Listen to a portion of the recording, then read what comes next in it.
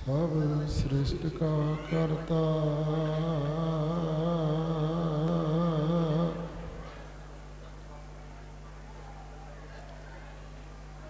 ਬ੍ਰਹਮ ਗਿਆਨੀ ਸਾਧ ਜੀਵ ਨਹੀਂ ਮਰਤਾ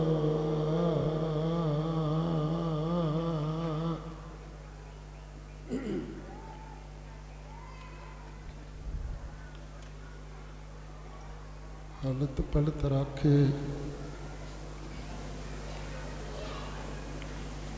ਛਤਰ ਚਵਰ ਤਖਤ ਦੇ ਮਾਲਕ।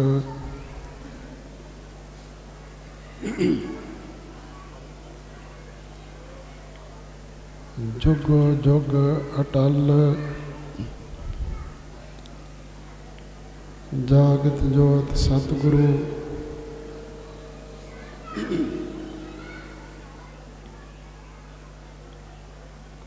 ਧੰਨ ਧੰਨ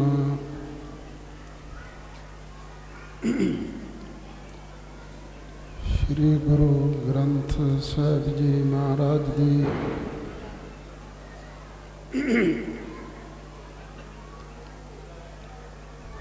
ਪਵਿੱਤਰ ਹਜ਼ੂਰੀ ਅੰਦਰ ਸੱਜ ਕੇ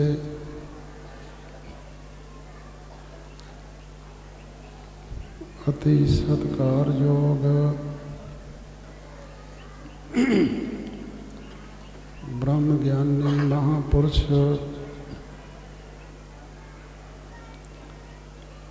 ਸ਼੍ਰੀਮਾਨ ਸੰਤ ਬਾਬਾ ਹਰਨਾਮ ਸਿੰਘ ਜੀ ਮਹਾਪੁਰਸ਼ਾਂ ਦੇ ਬਰਸੀ ਸਮਾਗਮ ਵਿੱਚ ਜੁੜ ਕੇ ਸਨਮਾਨਯੋਗ ਸ਼੍ਰੀਮਾਨ ਸੰਤ ਬਾਬਾ ਹਰੀ ਸਿੰਘ ਜੀ,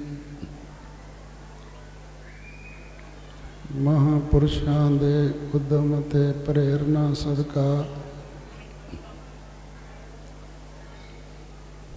ਸਤ ਸੰਗਤ ਵਿੱਚ ਸਮਾਂ ਸਫਲਾ ਕਰ ਰਹੇ। ਸਨਮਾਨਯੋਗ ਗੁਰੂ ਖਾਲਸਾ ਸਾਧ ਸੰਗਤ ਜੀਓ ਵਾਹਿਗੁਰੂ ਜੀ ਕਾ ਖਾਲਸਾ, ਵਾਹਿਗੁਰੂ ਜੀ ਕੀ ਫਤਿਹ।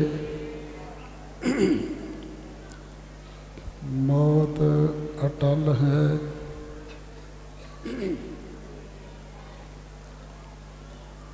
ਸਤਿਗੁਰੂ ਜੀ ਪਾਵਨ ਬਾਣੀ ਅੰਦਰ। ਮੌਤ ਪ੍ਰਤੀ ਦੋ ਤਰ੍ਹਾਂ ਦਾ ਦ੍ਰਿਸ਼ਟੀਕੋਣ ਬਖਸ਼ਿਸ਼ ਕਰਦੇ ਨੇ।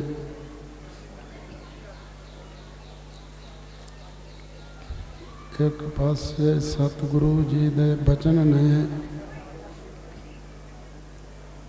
ਕਿ ਊਠ ਸਿਧਾਰੇ ਕਰ ਮਨ ਜਨ ਸੇਵਾ। ਕਿ ਰੱਬੀ ਪੁਰਸ਼ ਵੀ ਸੇਵਾ ਕਮਾ ਕੇ ਮੌਤ ਗ੍ਰਸਤ ਹੋ ਕੇ ਸੰਸਾਰ ਤੋਂ ਤੁਰ ਜਾਂਦੇ ਹਨ।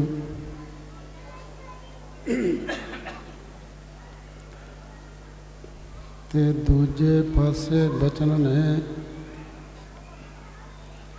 ਕਿ ਬ੍ਰਹਮ ਗਿਆਨੀ ਸਦ ਜੀਵ ਨਹੀਂ ਮਰਤਾ। ਉਪਰੀ ਨਜ਼ਰ ਨਾਲ ਵੇਖਿਆ, ਵਿਚਾਰਿਆਂ, ਇਹ ਆਪਾ ਵਿਰੋਧੀ ਵਿਚਾਰ ਪ੍ਰਤੀਤ ਹੁੰਦੇ ਨੇ। ਪਰ ਸਤਿਗੁਰੂ ਜੀ ਤੋਂ ਗੋਦ ਵਿੱਚ ਬੈਠ ਕੇ ਪਿਆਰ ਨਾਲ ਪੁੱਛਣ ਦਾ ਯਤਨ ਕਰੀਏ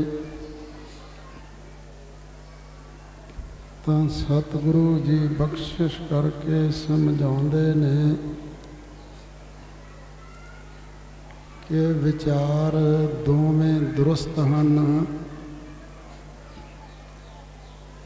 ਪਰ ਮੌਤ ਦੋ ਤਿੰਨ ਤਰ੍ਹਾਂ ਦੀ ਹੈ। ਇੱਕ ਸਰੀਰ ਦਾ ਜੀਵਨ ਤੇ ਸਰੀਰ ਦੀ ਮੌਤ ਹੈ।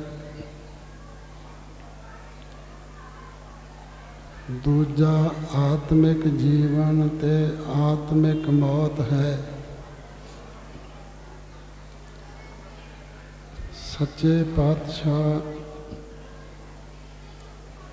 ਉੱਤਮ ਪੁਰਖ ਵਿੱਚ ਬਚਨ ਫਰਮਾ ਕੇ ਆਪਣੇ ਮਨ ਨੂੰ ਸੰਬੋਧਨ ਕਰਕੇ ਸਾਨੂੰ ਸਾਡੇ ਅਸਲ ਆਪੇ ਪ੍ਰਤੀ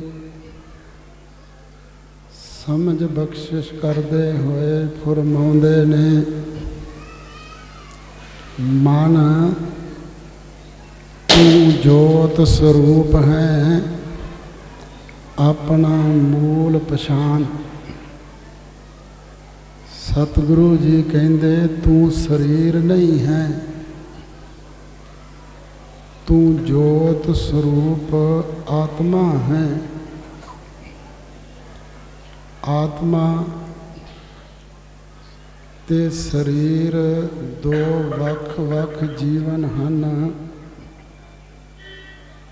ਜਿੱਥੋਂ ਤੱਕ ਸਰੀਰ ਦੀ ਮੌਤ ਦਾ ਸਵਾਲ ਹੈ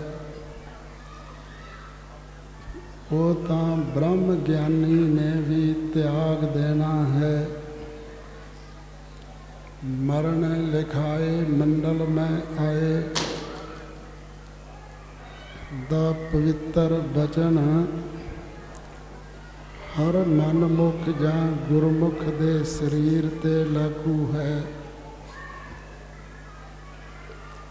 ਪਰ ਮੈਂ ਮੈਂ ਸਰੀਰ ਨਹੀਂ, ਆਤਮਾ ਹਾਂ। ਇਹ ਗੁਰੂ का ਬਚਨ ਸੁਣ ਕੇ, ਸਮਝ ਕੇ ਤੇ ਫਿਰ ਆਪਣੇ ਅਸਲ ਆਪੇ ਆਤਮਿਕ ਜੀਵਨ ਨੂੰ ਪ੍ਰਾਪਤ ਕਰਨ ਲਈ ਆਤਮ ਜੋਤ ਪ੍ਰਜਵਲਿਤ ਕਰਨ ਦੇ ਵਿੱਚ ਇੱਕ ਅੜਿੱਕਾ ਹੈ, ਤੀਜਾ ਹਉਮੈ ਦਾ ਜੀਵਨ। ਜਦੋਂ ਸਿੱਖ ਗੁਰੂ ਕੀ ਸ਼ਰਨ ਗ੍ਰਹਿਣ ਕਰਦਾ ਹੈ, ਗੁਰੂ ਵਾਲਾ ਬਣ ਕੇ ਗੁਰੂ ਪਾਸੋਂ ਨਾਮ ਦਾਤ ਪਾ ਕੇ ਕਮਾਉਂਦਾ ਹੈ ਤਾਂ ਸ਼ਬਦ ਮਰੋ ਫਿਰ ਜੀਵੋ ਸਦ ਹੀ, ਤਾਂ ਫਿਰ ਮਰਨ ਨਾ ਹੋਈ।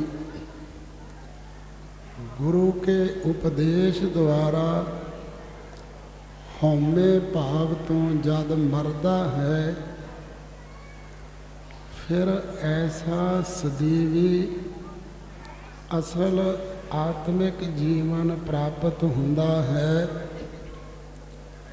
ਕਿ ਮੁੜ ਦੁਬਾਰਾ ਕਦੇ ਆਤਮਿਕ ਮੌਤ ਨਹੀਂ ਹੁੰਦੀ। ਤੇ ਇਹ ਉਹ ਜੀਵਨ ਹੈ, ਸੰਤ ਬਾਬਾ ਹਰਨਾਮ ਸਿੰਘ ਜੀ ਵਰਗੇ ਮਹਾਪੁਰਸ਼ਾਂ ਨੇ ਗੁਰੂ ਕੀ ਬਖਸ਼ਿਸ਼ ਨਾਲ ਜਿਨ੍ਹਾਂ ਨੇ ਪ੍ਰਾਪਤ ਕੀਤਾ ਹੈ। ਉਹਨਾਂ ਵਾਸਤੇ ਸਤਿਗੁਰੂ ਜੀ ਦੇ ਇਹ ਪਵਿੱਤਰ ਬਚਨ ਨੇ, ਬ੍ਰਹਮ ਗਿਆਨੀ ਸਦ ਜੀਵੈ, ਨਹੀਂ ਮਰਤਾ। ਬ੍ਰਹਮ ਗਿਆਨੀ ਆਤਮਿਕ ਤੌਰ ਤੇ ਸਦਾ ਜਿੰਦਾ ਰਹਿੰਦਾ ਹੈ। ਕਦੇ ਮਰਦਾ ਨਹੀਂ ਹੈ। ਹਾਂ, ਉਹ ਸਰੀਰਕ ਜੀਵਨ ਕਾਲ ਦੌਰਾਨ ਗੁਰੂ ਕੇ ਸ਼ਬਦ ਦੁਆਰਾ ਹਉਮੈ ਭਾਵ ਤੋਂ ਮਰ ਕੇ ਜਦ ਆਤਮਿਕ ਜੀਵਨ ਪ੍ਰਾਪਤ ਕਰਦਾ ਹੈ, ਤਾਂ ਉਦੋਂ ਉਹਨੂੰ ਆਨੰਦ ਗੁਰੂ ਤੇ ਜਾਣਿਆ ਦੇ ਠੀਕ ਅਰਥਾਂ ਦੀ ਸਮਝ ਪੈਂਦੀ ਹੈ। ਸਦੀਵੀ ਜੀਵਨ ਪ੍ਰਾਪਤ ਹੁੰਦਾ ਹੈ ਤੇ ਆਤਮਿਕ ਜੀਵਨ ਪਾਉਣ ਵਾਲੇ ਦੀ ਇਹ ਸਦੀਵੀ ਰੀਝ ਹੁੰਦੀ ਹੈ ਕਿ ਸੰਸਾਰ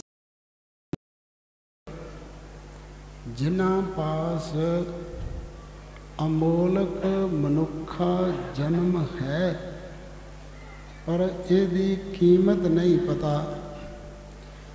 ਇਸ ਜਨਮ ਨੂੰ ਗੁਰੂ ਤੋਂ ਬੇਮੁਖ ਹੋ ਕੇ ਮਨ ਮਤ ਵਿੱਚ ਜੀਵਨ ਜਿਉਂ ਕੇ ਅਸਫਲ